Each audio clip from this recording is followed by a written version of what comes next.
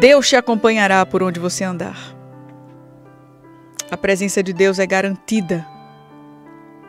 Ele diz a Josué: Não fui eu que ordenei a você?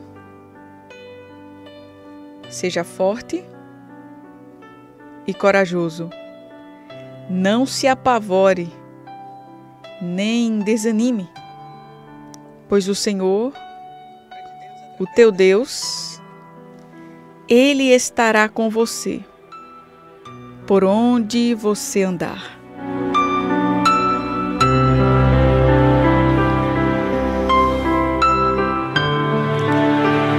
Sempre que eu paro para pensar, para pensar nas coisas da vida, nas dificuldades, em tudo que me traz tanto desânimo. Algumas vezes, ou na maioria das vezes, eu suspiro e eu digo, ai de mim se não fosse o Senhor. Eu acho que você também tem esse hábito, ainda que inconsciente, de dizer a mesma coisa. Ai de mim se não fosse o Senhor. Ai de mim. O Senhor tem me guardado, tem me livrado, tem me dado força. E você é consciente dessa verdade. E aqui na palavra de Deus, ele está garantindo que ele é contigo. Para onde é que você vai hoje? Você está em casa, está saindo? Vai colocar um currículo?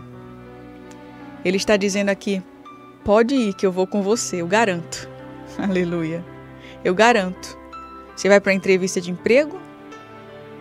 Ele está dizendo: Eu vou com você por onde você andar. Você vai para o seu trabalho? Já está no seu trabalho?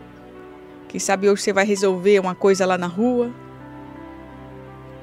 O Senhor está dizendo assim: Eu vou contigo. Você está dirigindo? Você está Tá aí, quem sabe, dirigindo o seu caminhão, ser motorista de táxi, de aplicativo, de ônibus.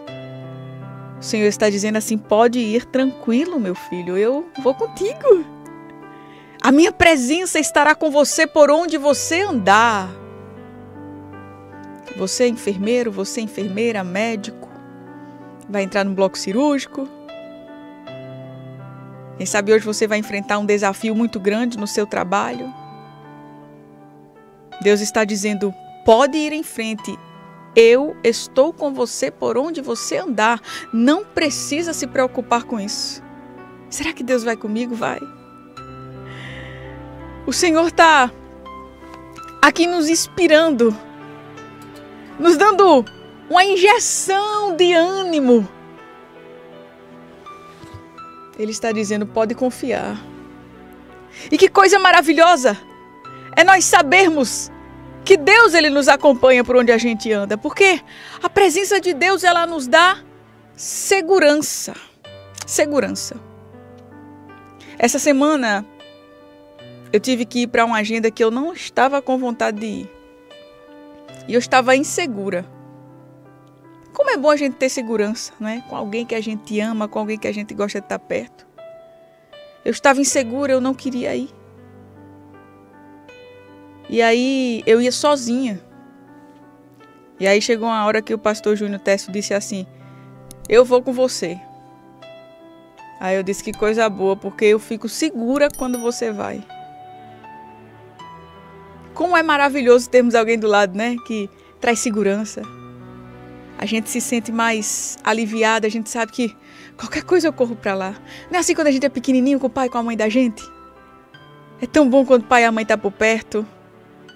E a gente que é mãe agora, que é pai, a gente vê que o nosso filho, meu Deus, como a nossa presença traz segurança. Onde eu chego ali, se tem que estar tá no meu colo, tem hora que dá agonia. Eu digo, minha filha, se sente aqui na cadeira do lado. Pode estar desconfortável como for, mas o melhor lugar do mundo é no colo. Meu Deus do céu. Se eu sento no sofá, ela vem pro meu colo. Se eu vou almoçar, ela tem que almoçar no meu colo. É a sensação, é o calor, é a presença. A presença ela traz segurança. Minha mãe está aqui, eu estou segura. presença de Deus, ela nos traz essa segurança. Deus é a melhor companhia que o homem pode ter. E Deus está aqui falando com o seu servo Josué há milhares de anos atrás, dando uma garantia, dizendo: Olha, pode confiar. E da mesma forma, hoje ele diz para mim, hoje, dia 2 de fevereiro de 2022, Deus está dizendo: pode confiar, filha. Pode confiar, filho. Assim como eu prometi a Josué, eu prometo a você que eu não vou te abandonar. Está difícil. Tem pedras no caminho, tem espinhos, mas eu estarei com você. O Senhor não fez só essa promessa a Josué. O Senhor faz essa promessa para mim, o Senhor fez essa promessa para vários homens da Bíblia. Ele diz lá em Mateus, no capítulo 28 e 20: Eu estarei sempre com vocês até o fim dos tempos. O Senhor prometeu a Jacó, ele disse: Jacó, eis que eu estou contigo e te guardarei por onde quer que fores. Aleluia. Oh, aleluia. Deus, Ele é o teu guarda, Ele é o teu segurança particular, Ele te protege de todo mal. Ele diz assim: Meu filho Jacó, eu não te desampararei. Aqui na terra a gente se sente desamparado. E esse sentimento ele é igual um soco no estômago. Quem sabe você foi desamparado na sua infância. Você tinha um pai vivo, mas no seu íntimo, seu pai estava morto. Você tinha uma mãe viva dentro da sua casa, mas que te desamparou em algumas esferas, em algumas áreas da sua vida. Deus ele diz assim: "Eu, eu não. Eu não te desampararei." E a palavra ela segue aqui mostrando que Deus ele promete a sua presença. E o que eu acho lindo, e vou ler aqui para você agora, é quando Deus ele fala com Moisés. Moisés era um homem que enfrentou um grande desafio na sua vida de ir até um grande chamado Faraó, um poderoso, e dizer: Faraó, deixa o povo de Deus sair daqui. Liberta esse povo. Esse povo é escolhido. Moisés peitou Faraó com a ousadia de Deus. E Moisés sabia a importância da presença do Senhor na vida dele, que ele não era absolutamente nada. Moisés, dizem os historiadores, ele tinha um problema na fala, muito provavelmente ele era gago. E ele sabia que ele por si só, ele não conseguiria alcançar muita coisa.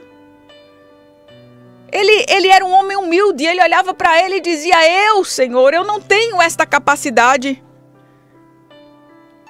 Mas aí Deus diz: Pode ir, meu filho, que eu vou te dizer, que eu vou te falar o que você deve dizer. Eu vou te encher. Pode abrir a tua boca. Aí ele vai lá, diante de Faraó, o povo é liberto, glória a Deus. E ele entende que Deus estava com ele em todo momento, porque ele precisava daquilo, a missão era muito grande.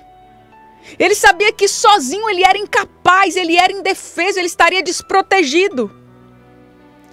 E num dado momento da história de Moisés, ele sobe ao monte ali buscando estar na presença de Deus.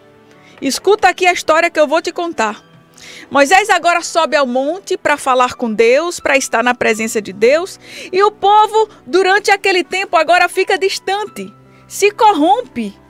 O povo agora começa a falar da demora de Moisés. Cadê Moisés? Por que, que ele está demorando tanto naquele monte? E sabe o que o povo faz? O povo agora começa a conclamar a todos para fazerem, construírem uma estátua, um bezerro de ouro. Tira teu brinco, tira teu colar, tira tua pulseira, vamos embora, vamos é, derreter o ouro e vamos construir um Deus para nós, porque Moisés não voltou mais. Moisés subiu no monte para adorar E não voltou, então a gente precisa de um Deus. E agora está lá o povo adorando um bezerro de ouro, dizendo: Esse aqui é o meu Deus. Esqueceram do Deus que havia os tirado do Egito. Esqueceram do Deus que havia aberto o mar. Porque o povo não tinha estado com Deus verdadeiramente, não tinham é, intimidade com o Deus de Moisés. Eles se deixaram agora influenciar e começaram a adorar um bezerro de ouro. Aí Deus fala com Moisés: Olha, Moisés, agora tu vai ter que descer o monte, porque o meu povo, veja o amor de Deus, o meu povo, aleluia, está adorando um bezerro. Esse povo, Moisés, se desviou daquilo que eu ordenei a eles. Fizeram um ídolo em forma de bezerro, curvaram-se, ofereceram sacrifícios a ele. Meu Deus. O interessante aqui é que até Arão, que era o sacerdote, o principal companheiro de Moisés, participou ali daquela daquele ato de rebeldia, de adoração a outros deuses. Arão, sacerdote, o homem repre... o pastor. O pastor estava lá adorando o bezerro. Veja, o povo agora começou a pressionar. Perceba como as pressões nos tiram da presença de Deus. O povo começou a colocar Arão no canto da parede. Arão, cadê? Vamos adorar. Temos que ter um Deus para nos livrar. E Arão, beleza, vamos lá. E aí chega na parte que eu quero falar com você nessa manhã. Deus ele fala com Moisés, Moisés, você vai descer e você vai ver o que está acontecendo. Esse povo rebelde está adorando outro Deus, e você vai lá. Pode guiar esse povo. Não se preocupe, eu vou dar vitória a vocês. Vocês vão vencer os inimigos. Eu vou até mandar um anjo, Moisés, na tua frente. Mandarei, está lá em Êxodo 33, 2 e 3 agora. Mandarei à tua frente um anjo e expulsarei os cananeus, os amorreus, os inimigos. Vão para a terra onde há leite e mel com fartura. Deus continua dizendo: Eu vou dar vitória podem ir. Agora, eu não irei com vocês. Êxodo 33, versículo de número 3. Eu imagino a ira de Deus nesse momento. Dizendo assim: Eu vou dar vitória, mas eu não suporto ver essas coisas. Eu não tenho prazer em caminhar com este povo obstinado, rebelde, que se esqueceu de mim. Isso aqui eu estou imaginando, Deus. O sentimento de Deus na minha limitação mental humana. Deus ele diz assim: Eu não irei com vocês porque eu estou tão indignado que no meio do caminho eu podia destruí-los. Mas vai, Moisés. Eu mando um anjo. Pode ir, Moisés. Um anjo acompanha vocês, vocês não estarão sozinhos. Aí Moisés diz: Ah, Senhor, se o Senhor não for conosco, não nos envie. Como é que nós vamos contar com teu favor se o Senhor não nos acompanhar? Olha as perguntas de Moisés, agora ele pergunta algo muito lindo. Ele vai, ele vai dizer assim: Senhor, o que é que vai distinguir a mim e ao teu povo de todos os demais povos da face da terra? Ele estava dizendo assim, oh Deus, até hoje o que fez a diferença na vida da gente foi a tua presença. Não foi nada, não. Nós não fomos libertos do Egito porque eu tenho uma boa oratória e, e, e tenho um exército que desafiou Faraó, não. Nós não somos ninguém, nós somos pequenininhos, Deus. O Senhor sabe disso. Todos os milagres que foram feitos até agora foi por conta da tua presença e é a tua presença que nos distingue de todos os povos da terra. Aleluia. E se o Senhor não for, como nós poderemos ir? Deixa eu falar uma coisa para você. O que distingue você? O que mostra Aleluia. O que revela que você, aleluia, que você, amado, é diferente é a presença de Deus. Esse brilho aí no teu rosto, que às vezes até incomoda muita gente, é a presença de Deus. O que você conquistou até hoje foi a presença de Deus na tua vida. Porque sem Ele você não é nada, não pode nada. Aleluia, aleluia. Oh, aleluia!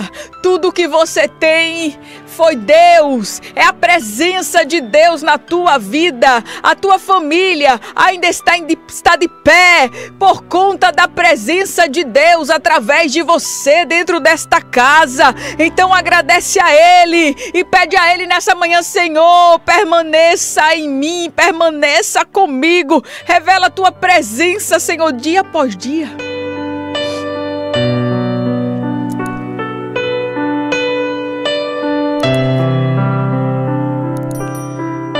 Se não fores conosco, não nos envies. Que essa seja a minha declaração de fé, Senhor. Eu só vou se tu fores comigo. Se o Senhor não for, é melhor estar aqui. Sabe o que é isso? Eu não quero fazer absolutamente nada na minha vida se eu não fizer com Deus. Porque se eu fizer sozinho, eu vou quebrar a minha cara. Mesmo Deus dizendo, Moisés, eu vou te dar vitória, não, Senhor. De que adianta eu ter vitória se o Senhor não estiver comigo?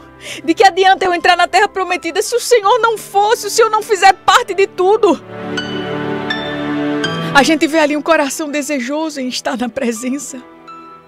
Um coração que tinha um desejo, e esse desejo era real, de estar na presença de Deus, porque ele sabia que onde ele passava as pessoas contemplavam aquela glória naquele lugar, aleluia, na face de Moisés, no meio daquele povo. Aleluia, que convicção tinha Moisés da importância da presença de Deus. Foi a presença de Deus que abriu o mar. Foi a presença de Deus que fez água sair da rocha. Foi a presença de Deus que fazia pão cair do céu para aquele povo se alimentar no meio de um deserto onde não havia pão. Aleluia! Mas Deus fazia cair um pão quentinho do céu. Foi a presença de Deus que fez as codornizes, vo, codornizes voarem bem baixinho e o povo comer carne no deserto. É a presença de Deus, amada, que te mantém até hoje.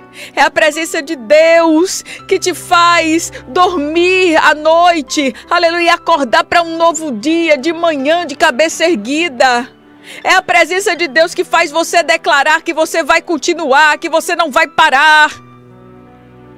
É a presença de Deus que te conduz, aleluia, para a casa do Senhor, para a igreja, mesmo você cansado, mesmo você dizendo hoje eu não estou com vontade de ir para a igreja, mas quando você menos percebe, você já está lá, porque o Senhor te sustentou. É a presença de Deus. É a presença de Deus que faz você estar aqui hoje, ligada nesse rádio, ligado nesta live, quem sabe, recebendo o pão do céu também. E que essa presença te acompanhe por onde você for. E aí quando Moisés ele insiste pela presença, o Senhor diz: "Tá bom, Moisés, você me convenceu, eu vou fazer o que você pede." Êxodo 33 e 17. Olha que coisa linda, Senhor, eu vou nada. Sem o Senhor com anjo, eu não quero anjo. Eu quero o Senhor comigo. Tu és o meu amigo particular. Aí Moisés diz: Ok. Ok. Aí Deus diz: Ok, Moisés, eu farei o que me pede. Sabe por quê? Porque eu tenho me agradado de você. Eu conheço você pelo seu nome. Que coisa linda. O Senhor Deus, Ele também promete ir à nossa frente. Ele diz: Eu irei adiante de ti, endireitarei os caminhos tortos. Quebrarei as portas de bronze e despedaçarei as trancas de ferro. Você sabe o que é isso? É tudo que está difícil de quebrar. Porta de bronze, tranca de ferro. Deus ele diz: se preocupe não, filha, eu quebro. Porque para o homem, quando a gente vê algo assim difícil, A gente fica logo preocupado. Aí Deus ele coloca logo para quebrar aqui. Ele diz: ó, eu quebro, eu despedaço, pá, despedaçar é fazer se tornar em pedaços. Ele vai com tudo, meu irmão. Ele vai com tudo, eliminando todos os obstáculos. Se o caminho está torto, ele está dizendo aqui: olha, eu endireito. Eu endireito, para que saibas que eu sou o Senhor, ou seja, para que o nome dele seja glorificado. Ele diz agora em Isaías, no capítulo 41, versículo 13, que ele nos ajuda, nos ajuda pessoalmente. Diz: Olha, eu, Senhor, o teu Deus, eu te tomo pela tua mão direita. Eu te tomo pela tua mão direita. E ele não só toma pela mão direita, não, ele ainda incentiva, ele ainda inspira, ele ainda fala palavras de, de ânimo. Ele, ele vai segurando na mão da gente assim: olha, sinta o Senhor segurando aí na sua mão direita. Aleluia. Olha para tua mão agora e diga: Eu sei que o Senhor está segurando a minha mão, a minha mão direita. E ele ainda vai dizendo assim no teu ouvido: oh, Não temas, que eu te ajudo. Ai, que coisa linda, Jesus. Não temas que eu te ajudo. Não temas que eu te ajudo. Além dele segurar na minha mão direita na caminhada por onde eu vou, como ele já disse, que não vai me desamparar, ele ainda vai me incentivando, igual um pai faz com o menino dele. Ô, oh, meu filho, vá-se embora, pode ir, não temas, eu te ajudo. Eu tô aqui, você pode contar comigo. Pode seguir em frente. Eis que envergonhados e confundidos serão todos os que se levantarem contra ti. O Senhor vai dizendo esses negócios pra gente na caminhada. Os teus inimigos inimigos que estão se levantando contra ti vão se tornar vão se tornar em nada, ou tornar-se em nada. Os que contenderem contigo, sabe o que vai acontecer? Eles vão perder a batalha, perecerão. E aí ele fala mais uma vez: Porque eu, Senhor teu Deus, te tomo pela tua mão direita e te digo: Não temas que eu te ajudo. Aleluia, aleluia, aleluia, aleluia, aleluia.